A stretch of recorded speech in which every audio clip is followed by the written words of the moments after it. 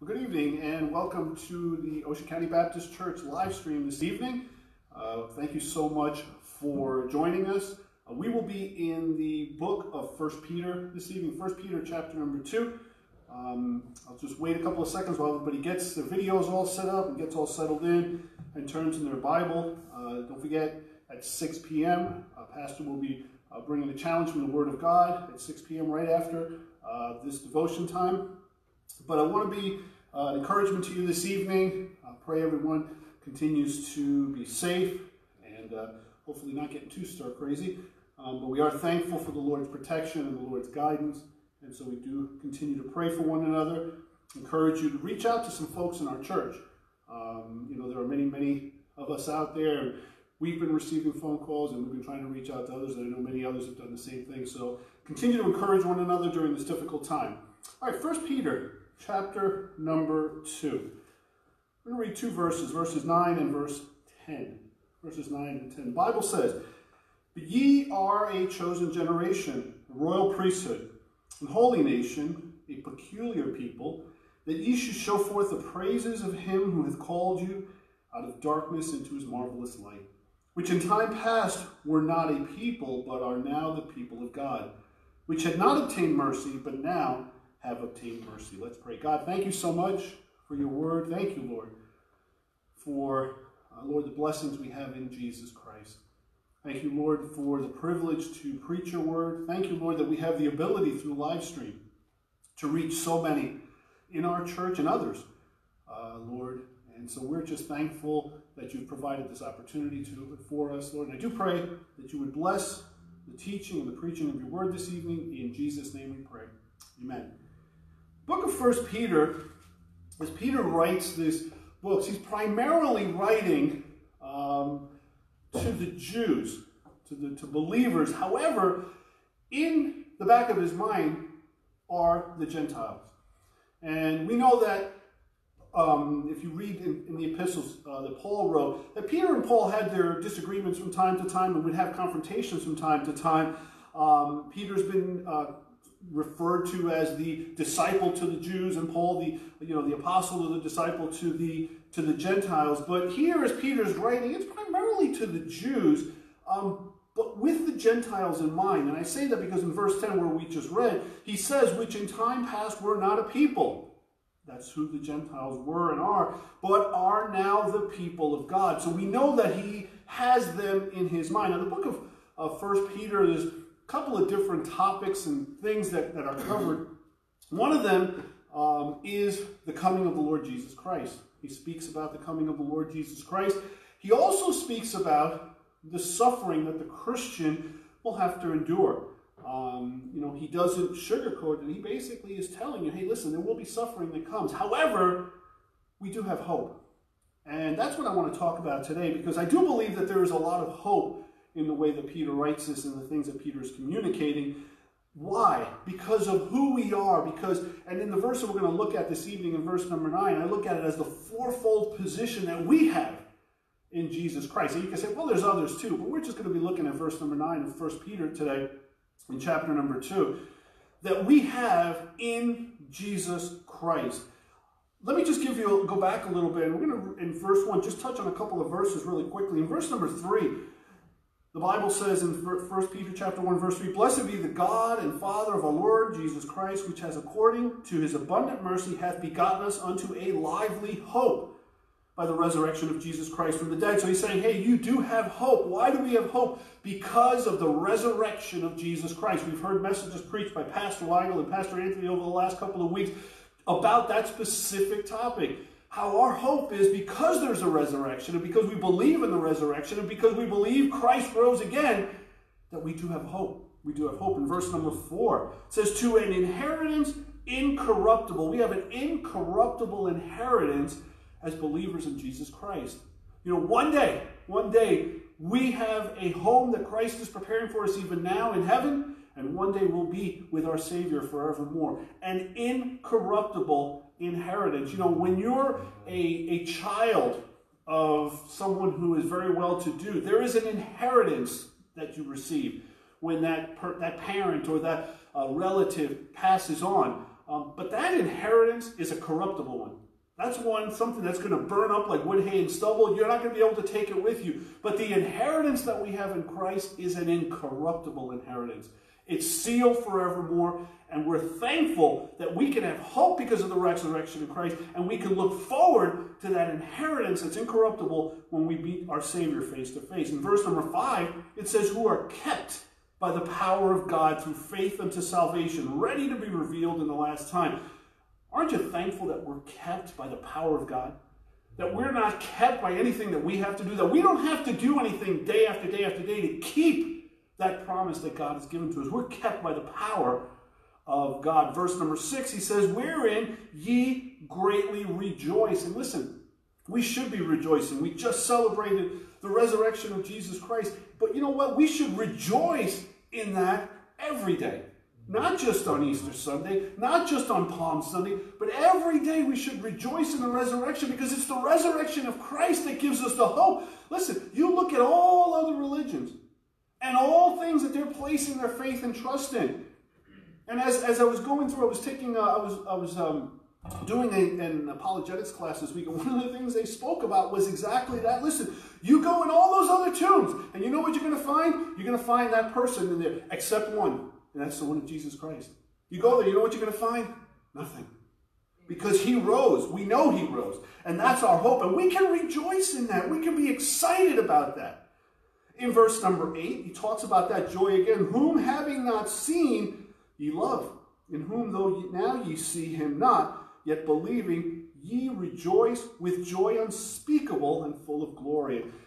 Our joy unspeakable. You can't even put words and thoughts to how much joy we have because of what Christ has done for us. Think about it. That's the joy we need to have. You say, well, you know, it's a tough time to be joyful. No, it's the perfect time to be joyful because when everything else around us is failing, when everything else around us is falling apart, that's when we need to turn to the Lord and that's when we need to seek our joy and our refuge and go to the secret place where we know that God is protecting us and He's watching out for us and we can have joy unspeakable. You know, when David was in those dark places, where did he turn? He turned to the Lord. He said, The Lord is my salvation. The Lord is my salvation. He didn't say my armies. He didn't say my strength, my, my intelligence, my ability to, to fight a good war. No, you know what he said? The Lord is my strength. The Lord is my salvation. And that's what we need to do. Listen, even in the times that we're dealing with right now, we can still have joy unspeakable. We can still experience that joy. Why? Because the resurrection didn't stop, didn't not happen because of what we're going through. It's as real today as it was five months ago, ten years ago. It's as real today as it was then. And we can experience that unspeakable joy. Then he says in verse 13, Wherefore, gird up the loins of your mind, be sober, and hope to the end for the grace that is to be brought unto you at the revelation of Jesus Christ. Gird up the loins of your mind, be sober. That's kind of the idea like, hey, you know, be prepared. Prepare yourself. Be careful. Guard your mind. Be sober. You know, he, he, Peter goes on to tell us later on in chapter number 5, Be sober, be vigilant, because your adversary, the devil, is a roaring lion, walketh about seeking whom he may devour. And there is a real enemy, and there is, and the, listen, even in these times, you know what the devil would like nothing more than to have our hearts turned away from God just because of complacency. Well, we're not in church, so it's really not important. No, now it's more important than ever. Amen. It's more important than ever now. Listen, the church didn't stop ceasing because we don't meet in this building. The church is the people of God. And the people of God still are here. Listen, we're all watching. We're all gathered together, whether it's in front of our TVs, our laptops, our phones, whatever it is. You are the, the church of God. You are the church of Jesus Christ. Amen. It is not this building. And so we get to chapter number two. And because of these things, you know, Peter's trying to be an encouragement. He's trying to provide hope. He's trying to say, listen, and he'll go on to talk about this later on. Listen, there's going to be suffering that's going to come. And there's going to be times of suffering that's going to come. But you can be hopeful. You can be joyful. You can rejoice because you know what? The promises of God are as sure today as they were before those sufferings came, and they'll be as sure during the sufferings and after those sufferings. Amen. Then you get to verse number 9, and he says, But ye, but ye are a chosen generation. What a, what a, what a, you know, every time I read this verse, I just get chills thinking about it. You're a chosen generation. You know, in the Old Testament, we know that the, and I'm not comparing the Old Testament to the New Testament, but in the Old Testament, you know, the Israelites were God's chosen people. Do you know that when we came to Christ, we became a chosen generation? Yes, Isn't that awesome? Isn't that tremendous? What a great thought. First Peter chapter number one, verse two says, elect according to the foreknowledge of God the Father, through sanctification of the Spirit, unto obedience and sprinkling of the blood of Jesus Christ, grace unto you, and peace be multiplied. Now listen, I, I, when we talk about, you know, foreknowledge and election and all those things, we're not talking about that, you know, God had already determined he's going to be saved and he's not. That's not what we're talking about. We know God knows in his, in his infinite wisdom who will accept him and who will reject him. But we still have a free will to make that decision. In first, I'm sorry, in Second Thessalonians chapter 2, verse 13, it says, But we are bound to give thanks always to God for you, brethren, beloved of the Lord, because God hath from the beginning chosen you to salvation through sanctification of the Spirit and belief of the truth. We are a chosen generation because we are saved through sanctification. Amen. We are saved through sanctification. It is a working, as we read in Second Thessalonians, of the Spirit of God. In John chapter 6 and verse 63, it talks about this. In John chapter 6, verse 63, it says, It is the Spirit that quickeneth. The flesh profit is nothing. The words that I speak unto you, they are spirit and they are life. It is the spirit that quickeneth us. Listen, we can sit here and say to ourselves, well, you know, I'll get saved later.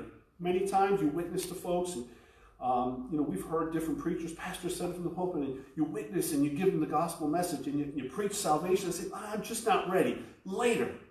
You know, and what they mean is, I have things I still want to do that coming to the Lord may interfere with. So later, and what we're basically saying is, I'll get saved in my time. No, we don't. That's right. Listen, you're making the assumption that that calling is going to be there all the time. And listen, God calls the believer. I look back and I think about how, how God worked in my life and in my wife's life.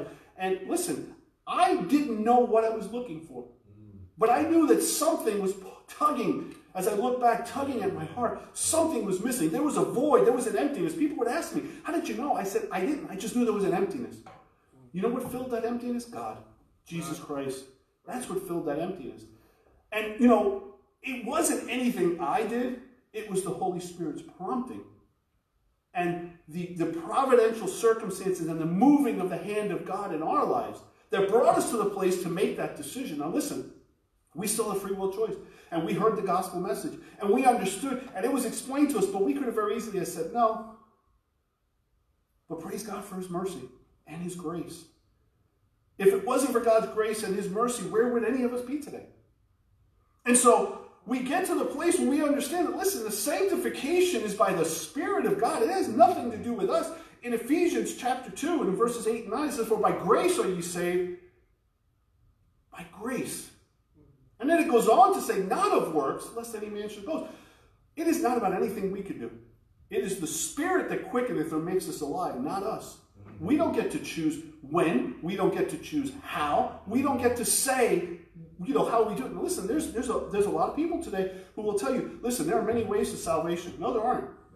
There's one way, and that's through Jesus Christ. Amen. He says, I am the way, the truth, and life. No man cometh unto the Father but by me. Well, if you believe that Jesus Christ is God, then you have to believe that every word that he speaks is truth. Well, if every word he speaks is truth, and he says, I am the way, the truth, and life, and no man cometh unto the Father but by me, that pretty much says it's only through Christ that we can be saved. In Ephesians chapter number 1 and in verse 4, Ephesians chapter 1 and in verse number 4, the Bible says, according as he hath chosen us in him before the foundation of the world, that we should be holy and without blame before him in love, having predestinated us unto the adoption of children by Jesus Christ himself, according to the good pleasure of his will. What a great promise. And then again in 2 Timothy chapter 1, the Bible says in verse 9, who hath saved us and called us with a holy calling. Here it is, not according to our works, but according to his own purpose and grace, which was given us in Christ Jesus before the world began. You know, God had a plan of salvation before we were even a thought. Before we were born, God already had the plan all laid out. And it wasn't by anything we could do. That verse is very clear. Not according to our works. Many people think that, you know, that we can earn and work our way to heaven. No. It's not our works, and it goes on to say, but according to his own purpose and grace. Amen. It's by the grace of God. So we're a chosen generation because we're saved through sanctification. We're also very blessed. In, uh, in John chapter 15 and in verse number 16, you know, we, we, we are blessed as being a chosen generation, we're tremendously blessed. Verse chapter, uh, I'm sorry, John 15, verse 16 says, Ye have not chosen me, but I have chosen you and ordained you, that ye should go and bring forth fruit, and that your fruit should remain, that whatsoever ye shall ask out of the, of the Father in my name, he may give it you. We're blessed. We're blessed. You know, if you look at that verse, he says, You haven't chosen me, but I've chosen you. So we, we think that well, you know, I think it's time for me to come to the Lord. That's not the way it works. God chooses you. Praise the Lord that he does. And you know what I see in that verse? We're blessed. Why? Because we have the blessings of, number one, serving God. Number two, witnessing for God. And number three, testifying of God. And we get to serve God. What a privilege and a blessing to serve the Lord. You say, well, it's a lot of work. Sometimes there's a lot of, of, of, of disappointment that comes along with it. Yeah, but remember the joy unspeakable we spoke about the during the trials, that's still there. Are there disappointments when, when you don't when people aren't fulfilling the, the calling that God has put on their life? Yeah, there is. But I know that we can still experience joy unspeakable. Why? Because God promises it to us.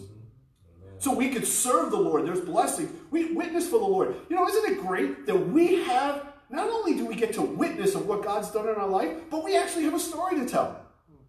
We get to tell people what God's done in our life, that's exciting to me. I love to hear salvation testimonies. I love to hear people tell about how they got saved, how God worked in their lives, how you could just see the hand of God in every aspect of their lives. That's exciting to me. But not only that, not only witnessing for God, what about testifying of God? Think about all the things that God has done in your life and so much that we have to testify about. Think about it. Even through this, you say, man, We've been locked up for over a month. I don't know that I have much to testify. Listen, think about this. We have a roof over our head. Yeah. We have people that we can spend it with. Amen. We have means through video, through phones, through whatever, to talk to other people. There are people praying for one another. You know what that is? That's testifying of the goodness of God and the hand of God, using the people of God to work in other people's lives. That's a blessing. And the, and the second part of that verse, he says, that whatsoever you shall ask of the Father in my name, he may give it to you. You know there's blessings in answered prayers. Now, God may not answer the prayers the way we want them answered, but God hears and answers prayer. So we're a chosen generation. I got to move quickly. Secondly, we're a royal priesthood. A royal priesthood. Revelation chapter 1, verse 5 and 6. And from Jesus Christ, who is the faithful witness and the first begotten of the dead and the prince of the kings of the earth, unto him that loved us and washed us from our sins in his own blood, and hath made us kings and priests unto God and his Father. To him be glory and dominion forever and ever. Amen. We're a royal priesthood. There's nobody else that stands other than the Lord Jesus Christ. There's no man that stands as a priest on our behalf except Jesus Christ. Amen. And guess what? We are now a royal priesthood. Mm-hmm. Now I thought about this. You know, royal talks about, you know, the royalty, kingliness. Priesthood is the priest, you know, the, the office of the priest. You know, in the Old Testament, those two offices were separate. There was the kings and there was the priest, but they were separate. Mm-hmm. But you know, in Jesus Christ, they're one. Because Jesus Christ is our high priest and he is the King of Kings. And so both of those offices in the New Testament in Jesus Christ became one. And we we, in 1 Peter chapter number 2 and verse 5 says, Ye also as lively stones are built up a spiritual house, a holy priesthood, to offer up spiritual sacrifices acceptable, acceptable to God by Jesus Christ. What are spiritual sacrifices? You know, that's giving our lives, our thoughts, our heart, everything to Him.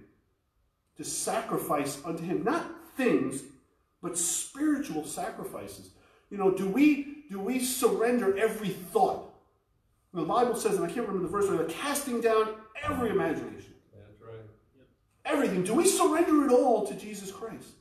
Because those are spiritual sacrifices. You know, in our in our in our in our own sinful, uh, you know, in, in the old man, so to speak, you know, we want to think about things we shouldn't be thinking about. You know, I always tell the kids, I said, you know, it's, it's always easier to do wrong. It's always easier to do wrong. It requires an effort to do what's right. Mm-hmm. Because we're bent on wanting to do wrong. But praise God that in Christ, we do have the ability to choose right and to do right and to make those spiritual sacrifices. Why? To bring praise and honor and glory to Jesus Christ. In, in Revelation chapter number 4, I guess I got to talk faster. In Revelation chapter number 4, and in verse number 11, Bible says, Thou art worthy, O Lord, to receive glory and honor and power. For thou hast created all things, and for thy pleasure they are and were created. And then in Revelation chapter, 5, uh, chapter 5, and if you read through verses 12 and on, saying with a loud voice, Worthy is the Lamb that was slain to receive power and riches and wisdom and strength and honor and glory and blessing. If you read on, it continues to go on and worship and praise Jesus Christ.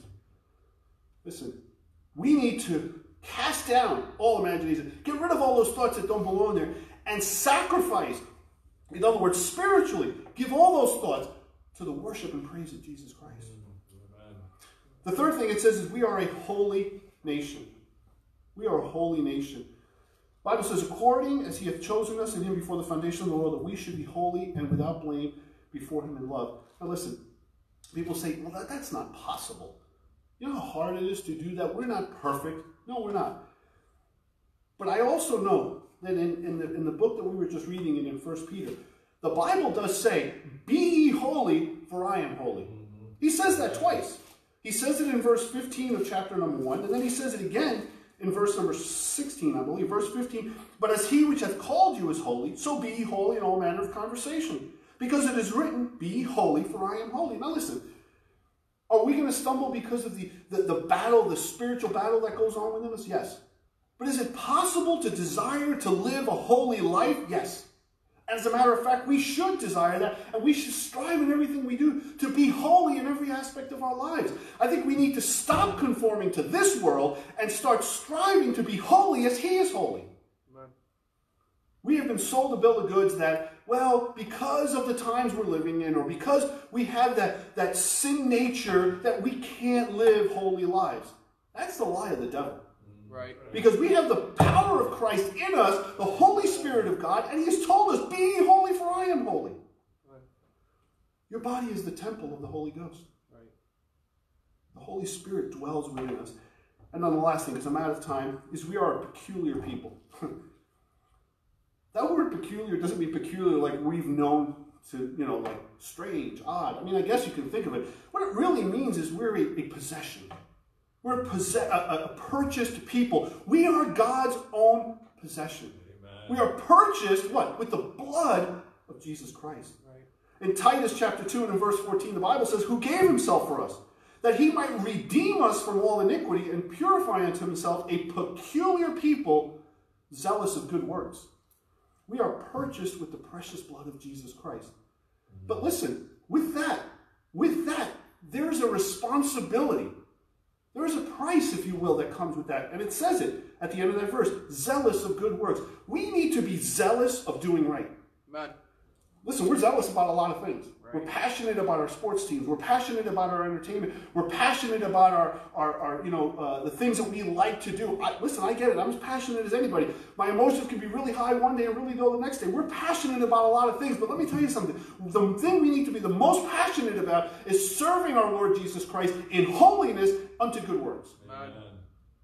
And I think if we started doing that as, as Christians, as believers, and start to make a difference in this world, we would see a change. Right. We would start to see a change. Listen, why it's hard to do that. I can't do that. It's just impossible to do that. Listen, we can't do it in our own strength. But let me tell you this God takes the ordinary and makes it extraordinary. Mm-hmm. God could take your life. He said, Well, you know, I, I, don't know that I can do it. Who am I? I'm just an ordinary person. We all are. But God can take the ordinary person and make them extraordinary. Read through the scriptures. There is story after story after story, okay, of people. Think of Gideon. Who was Gideon? What did God call Gideon? Thou mighty man of valor. When you, if you look at the characteristics of who Gideon was, that would be the last thing that you would think of him. but God saw something in him that he didn't even see. Why? Because God was working in his life, and it was God. It was God. What was it about Gideon? It was his faith. It wasn't his strength, his power. It was his faith that made him a mighty man of valor. That God did something in his life that nobody else could have foreseen. And God can do the same thing in your life. Are you zealous unto good works? Are you willing to surrender and sacrifice yourself completely so that God can do something extraordinary in our lives? My prayer is that that would be a challenge to you. It's a verse that a lot of us have read and know, and you know, every time I read it, I just get excited. Because it starts at salvation, sanctification by the Spirit, and the end of it is it ends with being zealous for good works. May that be our heart today. May we be zealous to serve and do everything we can for the Lord Jesus Christ. Let's pray. God, thank you so much. Thank you so much, Lord, for our salvation. Thank you, Lord, that the Holy Spirit lives and dwells within each and every one of us, and that, Lord, the Spirit of God is still working in each and every one of us. Lord, I do pray that you would do a great mighty work in each of us and work through us, Lord. In Jesus' name we pray. Amen.